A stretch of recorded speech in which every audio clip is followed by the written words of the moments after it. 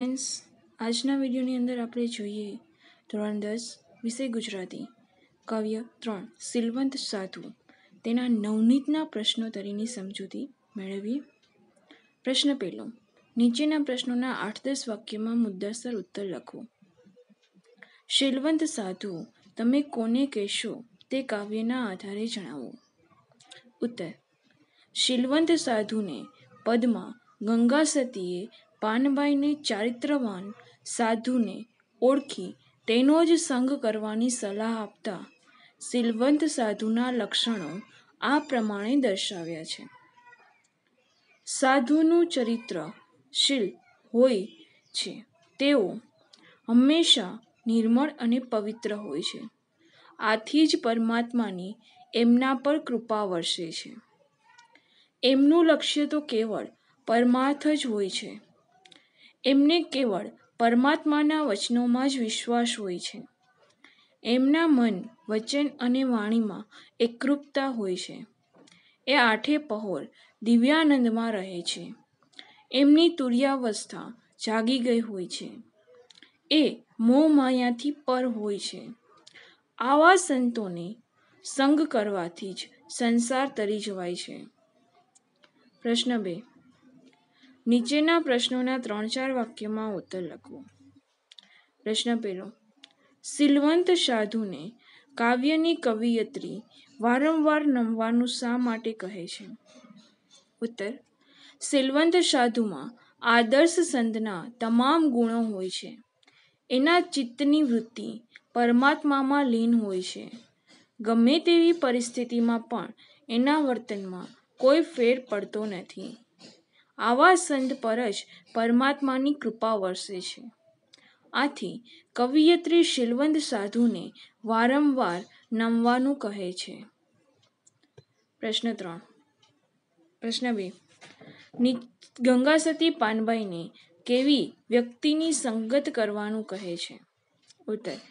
જે સંતના મન, વચન અને વાણીમાં એકરૂપતા હોય, જે આઠે પહોર દિવ્યાંગમાં રહેતો હોય અને જે પરમાત્માના ધ્યાનમાં લીન હોય, જેનું જીવન નિર્મોહી હોય અને જીવનમાં ભજનમાં વ્યસ્ત રહેતો હોય, એવી વ્યક્તિની સંગત કરવાનું ગંગા સતી પાનબાઈને કહે છે. પ્રશ્ન ત્રણ. જેને જાગી ગયો તુરિયાનો તાલ રે, એટલે શું? ઉત્તર. મનુષ્ય જીવનની ચોથી અને છેલ્લી અવસ્થા તુર્યાવસ્થા, એટલે કે ધ્યાનાવસ્થા છે. તુરી વાદ્ય એટલે તુર્યા દ્વારા જેનું ચિત્ત પ્રભુના ધ્યાનમાં લાગે છે, તે તુર્યાવસ્થા. જેને આ અવસ્થા પ્રાપ્ત થાય છે, તેને સંસારના સુખ દુઃખ વ્યાપતા નથી. પ્રશ્ન ચાર. શત્રુ અને મિત્ર સાથે સિલવંત સાધુ કેવો વ્યવહાર કરે છે? ઉત્તર. સિલવંત સાધુ સાથે શત્રુ અને મિત્ર સંભાવી ભાવ રાખી સરળ વ્યવહાર રાખે છે. એને શત્રુ પ્રત્યે ધિક્કાર નથી હોતો. એ રીતે મિત્ર સાથે મમત્વ હોતું નથી. તે નિષ્પુહી છે. એનું મન કાયમ પ્રભુમાં પોરવાયેલું હોય છે. પ્રશ્ન ત્રણ. નીચેના દરેક પ્રશ્નોનો એક વાક્યમાં ઉત્તર લખવો. પ્રશ્ન પહેલો. ગંગા સતી કેવા સાધુને વારંવાર નમવાનું કહે છે? ઉત્તર.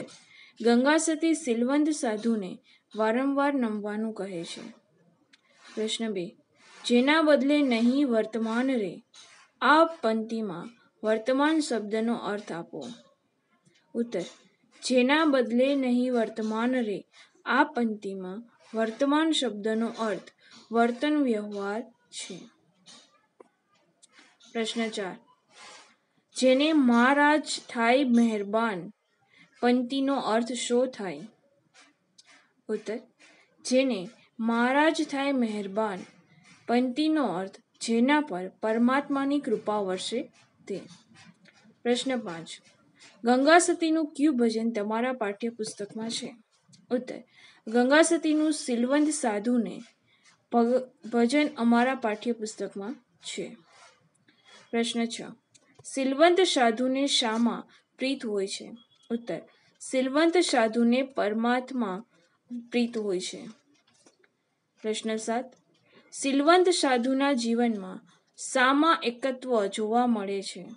ઉત્તર સિલવંત સાધુના મન, વચન અને વાણીમાં એકત્વ જોવા મળે છે. પ્રશ્ન આઠ. રૂઢી પાડે એવી રીત આ પંક્તિ કોની જીવનશૈલીને ઉદ્દેશીને લખાય છે? ઉત્તર. રૂઢી પાડે એવી રીત આ પંક્તિ શીલવંત સાધુની જીવનશૈલીને ઉદ્દેશીને લખાય છે. પ્રશ્ન નવ. શીલવંત સાધુને ભજનની ધ્રુવ પંક્તિ, એટલે કે ટેકની, કઈ છે? ઉત્તર. સિલવંત સાધુને વારે વારે નમીએ. એ સિલવંત સાધુને ભજનની ધ્રુવપંથી અથવા તો ટેકની છે. પ્રશ્ન દસ. સિલવંત સાધુને કાવ્યમાં કોના લક્ષણો વર્ણવાયા છે? ઉત્તર. સિલવંત સાધુને કાવ્યમાં આદર્શ સંતના લક્ષણો વર્ણવાયા છે. પ્રશ્ન અગિયાર. આઠે પોર શબ્દોમાં પોરનો અર્થ લખો. ઉત્તર. આઠે પોર એટલે પ્રહર, એટલે ત્રણ કલાક. બાર. તુરિયાનો તાર એટલે શું? ઉત્તર. તુરિયાનો તાર એટલે ધ્યાનાવસ્થા. પ્રશ્ન તેર. સિલવંત સાધુ સાને મિથ્યા કરી જાણે છે. ઉત્તર. શીલવંત સાધુ નામરૂપને મિથ્યા કરી જાણે છે. પ્રશ્ન ચૌદ. સિલવંત સાધુ સદાય શાનો વ્યાપાર કરે છે. ઉત્તર, સિલવંત સાધુ સદાય ભજનનો વેપાર કરે છે. પ્રશ્ન પંદર, ગંગા સતી શિષ્યોને કોની સંગત કરવાનું કહે છે? ઉત્તર, ગંગા સતી શિષ્યોને સિલવંત સાધુની સંગત કરવાનું કહે છે. પ્રશ્ન સોળ, સિલવંત સાધુને ભજનની અંતિમ પંક્તિમાં ગંગા સતી કોને ઉદ્દેશીને વાત કરી રહ્યા છે. ઉત્તર. સિલવંત સાધુને ભજનની અંતિમ પંક્તિમાં ગંગા સતી પાનબાઈને ઉદ્દેશીને વાત કરી રહ્યા છે. પ્રશ્ન સત્તર. સિલવંત સાધુને ભજન શામાંથી લેવામાં આવ્યું છે? ઉત્તર. સિલવંત સાધુને ભજન ગંગા સતીની ભજન ગંગામાંથી લેવામાં આવ્યું છે. પ્રશ્ન અઢાર. ગંગા સતીનું પૂરું નામ જણાવો. ઉત્તર. ગંગા સતીનું પૂરું નામ ગંગાબા કળસંગ ગોહિલ. પ્રશ્ન ચાર.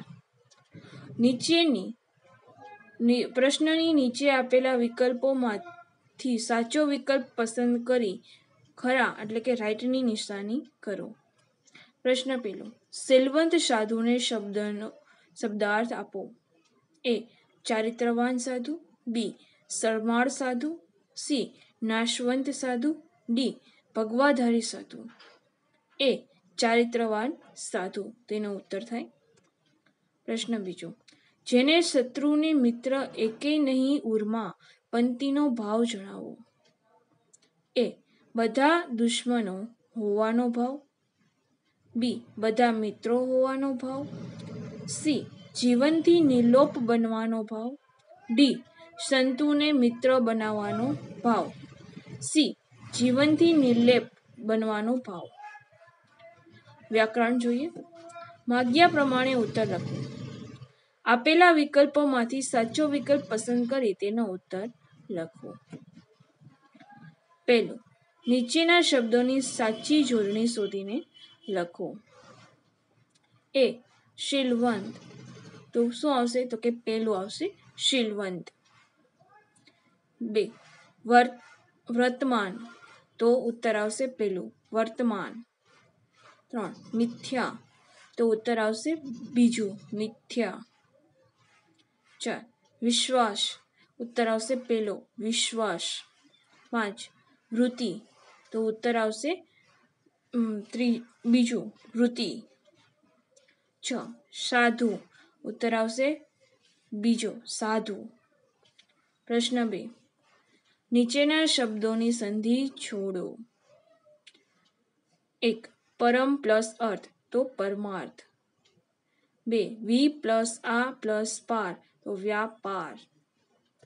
પ્રશ્ન ત્રણ, નીચેના શબ્દોના સમાસ ઓળખાવો. એક, વારે વારે સમાસ આવશે દ્વંદ્વ. બે, પરમાર્થ, સમાસ આવશે કર્મધારાય. ત્રણ, મન મસ્ત સમાસ આવશે તત્પરુષ ચાર ગંગા સતી સમાસ આવશે કર્મધારાએ પ્રશ્ન ચાર નીચેના શબ્દોમાં કયો પ્રત્યય રહેલો છે તે જ લખો। એક, પરમાર્થ, તો એક પણ પ્રત્યય નહીં, તો કે તેને એક પણ પ્રત્યય લાગતો નથી. બે, મહેરબાન મહેરબાન, તો શું લાગશે? તો કે પર પ્રત્યય ત્રણ, નિર્મળ, તો પૂર્વ પ્રત્યય. ચાર, વ્યાપાર, પૂર્વ પ્રત્યય. પાંચ, ભજન, તો પર પ્રત્યય. છ, સંગતુ, તો પર પ્રત્યય. પ્રશ્ન પાંચ, નીચેના શબ્દોના સમાનાર્થી શબ્દ લખો. એક, ભવ, તો સંસાર. બે, રૂડું, તો સારું. ત્રણ, સદાય, તો હંમેશા. ચાર. ઉર તો હૃદય. પ્રશ્ન છ. નીચેની સંધિના, એટલે કે સંજ્ઞાઓના પ્રકાર જણાવો. એક, સાધુ. તો તો કે સાધુ આવે જાતિવાચકમાં. વૃત્તિ વૃત્તિ કેમાં આવશે? તો કે ભાવવાચકની અંદર. મિત્ર. તો કે ભાવવાચકની અંદર. અને ચાર, ગંગા સતી. તો કે ગંગા સતી આવશે એ વ્યક્તિવાચક. પ્રશ્ન સાત, નીચેની પંક્તિના અલંકારનો પ્રકાર લખો. એક, જેણે જાણી ગયો તુરિયાનો તાર રે. ઓપ્શન છે સ્લેશ સજીવારોપણ વર્ણાનુપ્રાસ તો આવશે સ્લેશ બે, સદાય ભજનનો વ્યાપાર. જેમાં ઓપ્શન છે ઉપમા, રૂપક અને શ્લેષ. તો ઓપ્શન આવશે એમાં જવાબ આવશે શ્લેષ. ત્યાર પછીનો પ્રશ્ન, નીચેના પ્રશ્નોના માગ્યા પ્રમાણે ઉત્તર આપો. પ્રશ્ન આઠ, નીચેના રૂઢિપ્રયોગના અર્થ લખો. એક, નામને રૂપ મિથ્યા કરવું. અર્થ, નિર્મોહી થઈને જીવવું. બે, તુરિયાનો તાર જાગી ઉઠવો. ઉત્તર આવશે સમજણ શક્તિનો ઉદય થવો. ત્રણ. આઠે પહોર આનંદમાં રહેવું. સદાય દિવ્યાંગ, દિવ્યાનંદ એટલે કે પ્રભુ ભજનમાં રહેવું. પ્રશ્ન નવ. નીચેના શબ્દ સમૂહ માટે એક શબ્દ લખો એક. બીજાનું ભલું થાય એવી, એવું કંઈ કરી છૂટવું. તે, તો કે પરમાર્થ. બે. મળ કે કચરા વિનાનું. તો જવાબ આવશે નિર્મળ. ત્રણ, મનુષ્ય જીવનની જાગ્રત સ્વપ્ન અને સુષુપ્ત અવસ્થાથી પણ ચોથી અવસ્થા, તો કે તુર્યા અવસ્થા. પ્રશ્ન દસ, નીચેના શબ્દોના વિરુદ્ધાર્થી શબ્દ લખો. એક, નિર્મળ, તો મલિન. બે, પ્રીત, તો દ્વેષ.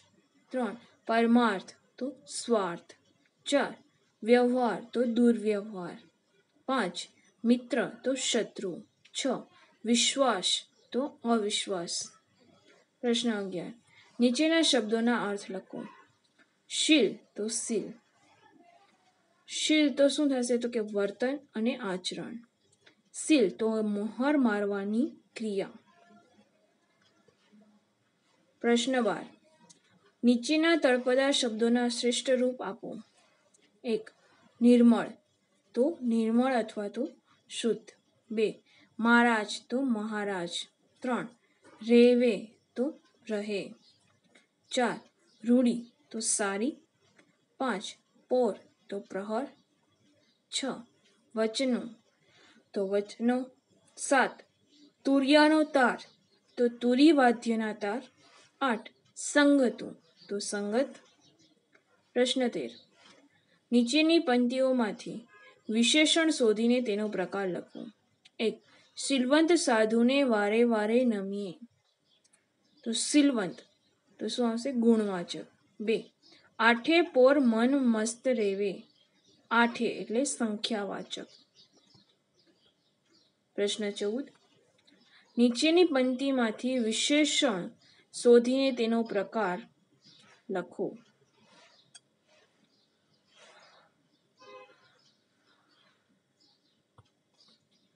એક સિલવંત સાધુને વારે વારે નમીએ.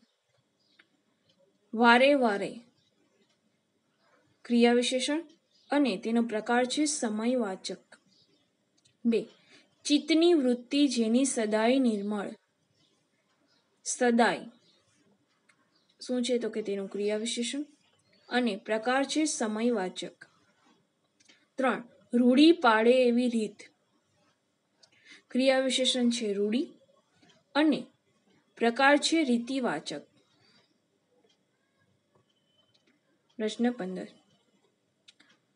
નીચેના ધ્વનિ ઘટકો છૂટા પાડો. એક, વૃત્તિ. તો વ્ર પ્લસ રૂ પ્લસ ત પ્લસ ત પ્લસ ઈ કારણ કે બે વાર ત લાગશે એટલા માટે ત ખોળા. બે, પરમાર્થ. તો પ ખોડો પ્લસ અ. પ્લસ ર ખોડો પ્લસ અ. પ્લસ મ ખોડો પ્લસ આ. પ્લસ થ ખોડો પ્લસ અ. પ્રશ્ન ત્રણ. વિશ્વાસ. વ ખોડો પ્લસ ઈ પ્લસ શ. પ્લસ વ ખોડો પ્લસ આ પ્લસ સ. જો તમને અમારો આ વીડિયો પસંદ આવ્યો હોય તો અમારા વિડીયોને લાઈક કરો, શેર કરો અને અમારી આ ચેનલ સીડી એજ્યુકેશનને સબસ્ક્રાઈબ કરી તેના બે આઇકન ઉપર ક્લિક કરવાનું ન ભૂલતા. Thank you for watching this video